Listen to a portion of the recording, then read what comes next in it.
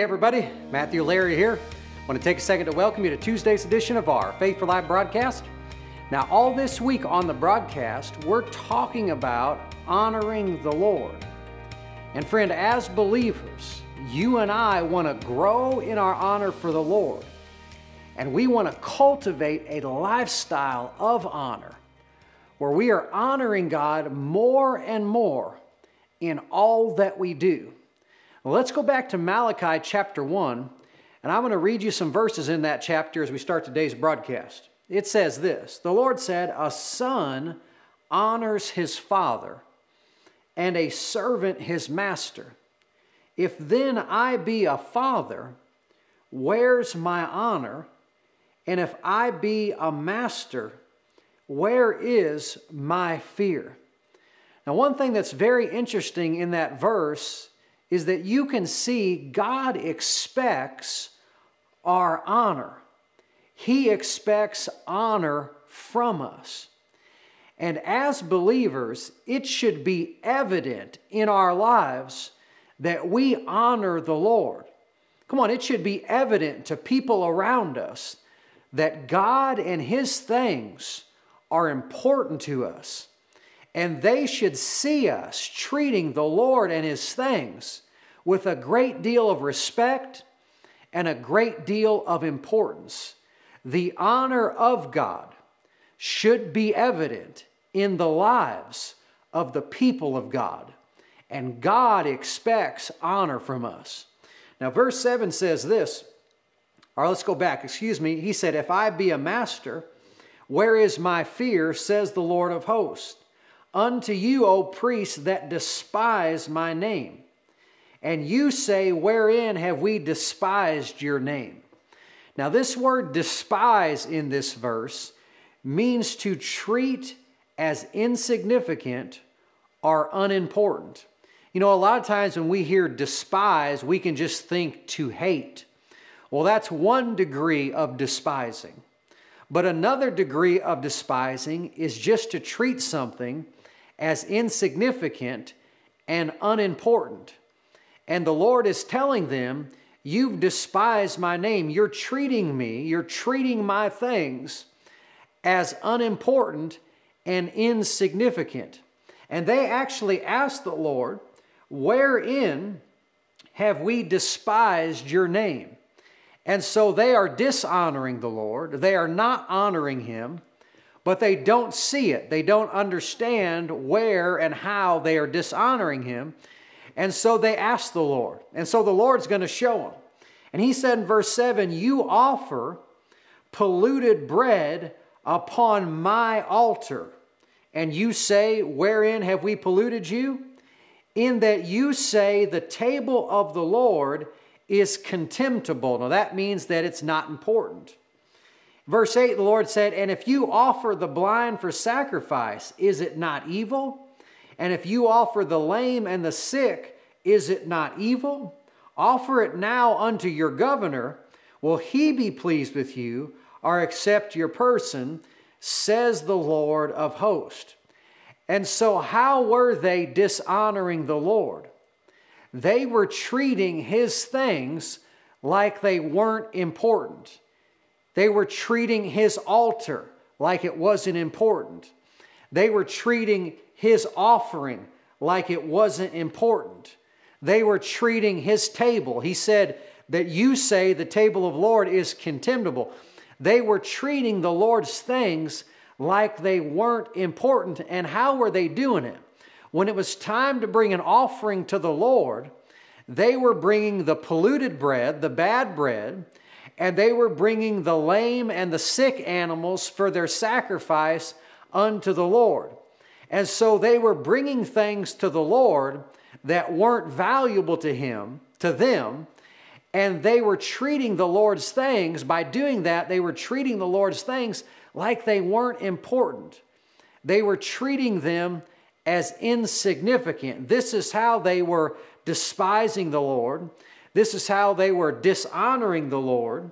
They were doing it in how they treated His things. And friend, this is one of the main ways that honor or dishonor will show up in your life is how you treat the Lord's things. Come on, friend, today you got to begin to ask yourself how am I treating God's Word?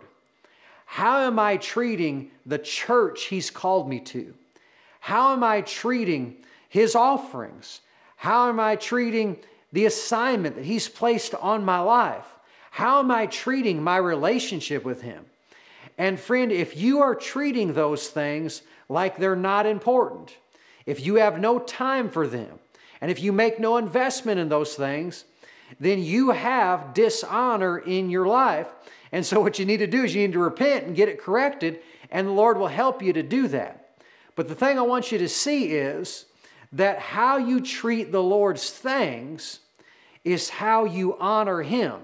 And He told this group of people My table, my bread, my offering, you're treating it like it's not important. And by doing that, they were dishonoring Him. Now, He said this to them in verse 7. He said, You say that the table of the Lord is contemptible, or you could we would say, you say it's not important or it's insignificant. Now, friend, they didn't actually say that with their words. Come on, they weren't walking around the temple saying, oh, God's table's not important. How were they saying it? They were saying that God's table wasn't important by how they were treating it. They were saying it with their actions, not necessarily with their mouths. And friend, you have to understand that we don't judge your honor for the Lord by your words and by your intentions. Our words and our intentions are not the measuring stick for our honor for God. How do we measure our honor for the Lord? We just watch ourselves and how we treat His things. And how we treat His things will give us a clear picture of our level of honor for the Lord.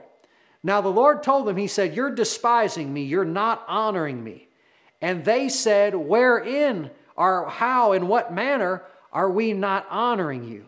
And friend, here is the deceptiveness of dishonor. It's this that oftentimes you don't see it in your life. You're dishonoring the Lord, but you don't see it. And these people didn't see it. And the reason that we don't see it is because we tend to judge our honor for God based on our words and based on our intentions and not based on how we actually treat His things. And so, oftentimes, when you and I do have some dishonor in our lives, we don't see it, we don't recognize it. But here's the good news. One of the things first, before the good news, is that, friend, if you and I, if we are dishonoring the Lord any way in our lives, we should want to see that so that we can repent and get it corrected. We should have hearts that are, that are crying out to the Lord today and saying, Lord, if I'm dishonoring you in any way, I want you to show it to me so that I can correct it and get it fixed in my life. I want to see it so that I can change and get it fixed. And friend, here's the good news. if you do want to see it, and you do ask the Lord to show it to you, He will show it to you.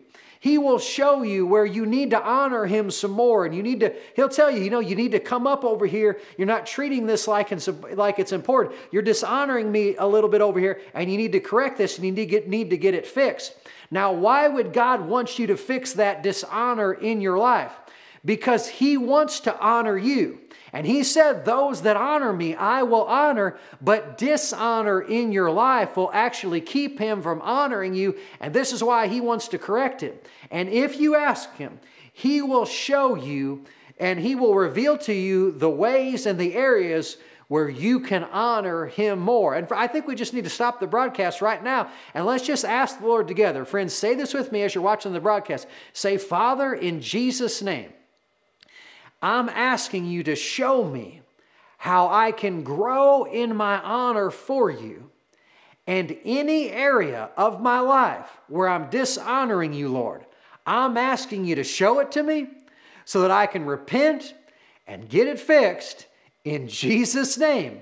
Now, come on, friend, if you believe that when you prayed it, God will start revealing to you where you need to grow in your honor for Him. He'll even reveal some areas to you where you're not honoring Him the way you should. And here's what you do when He does that you say, Lord, forgive me, and then you make the changes you need to make so that you can honor Him the way that you should. Now, in verse 8 of Malachi chapter 1, let's close today's broadcast with this. The Lord told them they were bringing them, bringing to Him the bad offerings, the lame sacrifices. And God told them, He said, Take those offerings to your governor and see if he will accept it. And what he was saying is basically try to pay your taxes to your governor with that offering and see if he will accept it. And the insinuation is they weren't taking that kind of offering to their governor, but they were bringing that kind of offering to the Lord. And friend, this is the height of dishonor.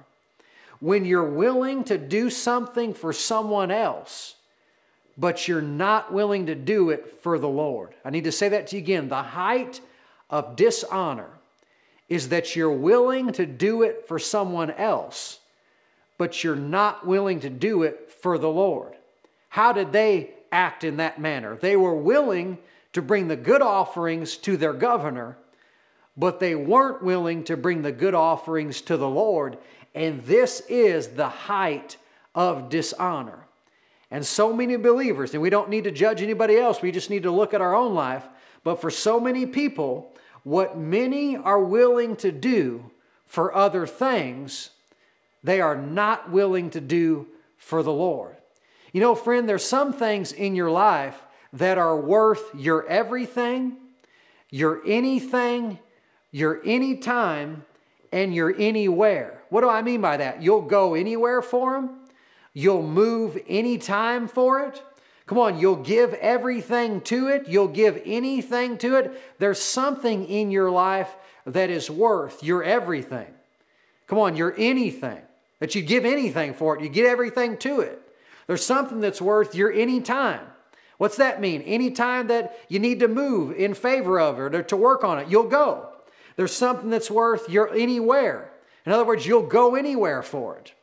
And when you find the thing that's worth your everything, your anything, your anytime, and your everywhere, you found what you honor the most.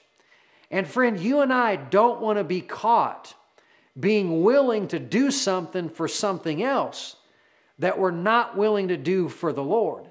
You know, a lot of people are willing to go to a ball game and a movie or a movie and sit there for two or three hours and, and partake of the movie and the ball game. But when it comes to church, they're not willing to sit for more than a half an hour, more than an hour for the Lord. And so they're willing to do it for someone else, but they're not willing to do it for the Lord. A lot of people will take their money and buy themselves something nice and, and, and uh, buy, you know, spend money on themselves and what they like, but they won't tithe. They won't take 10% of their income and give it to the Lord. And so, what they're willing to do for something else, they're not willing to do for the Lord. And those are just a few examples. But, friend, believe the Lord and ask the Lord that He would show you these things in your life because I don't know about you, but I don't want to be caught being willing to do something for someone else or something else and not being willing to do it for the Lord. Come on, if anybody is worth it, it's the Lord. If anybody is worth my anything, my anytime, my everything, and my everywhere, it's the Lord. Because I want to honor Him more than I honor anything else. Come on, say it with me today as you're closing the broadcast. Lord, you are worthy of my anything, my everything, my anytime, my anywhere, and I don't want to honor anything else more than I honor you. Praise the Lord. Now, friend, as we're closing today's broadcast, I want to remind you these three things. Number one, God's honor, our honor for God, should be evident in the lives of the people of God. Number two, they dishonored the Lord in Malachi chapter 1 by how they treated His things.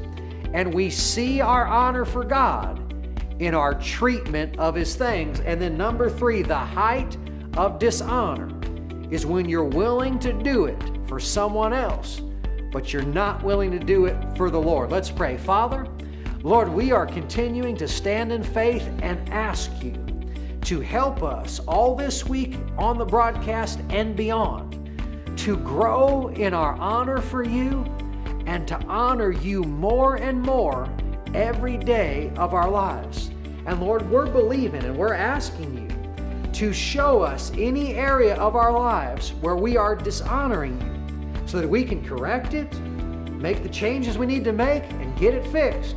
And Lord, we know that when we honor you, and the more we honor you, that you will honor us. And we thank you for it in Jesus' name. Amen. Friend, thank you so much for watching today's broadcast. And don't forget to come back tomorrow for Wednesday's edition of our Faith for Life broadcast. And we're going to continue this teaching on honoring the Lord We'll see you then.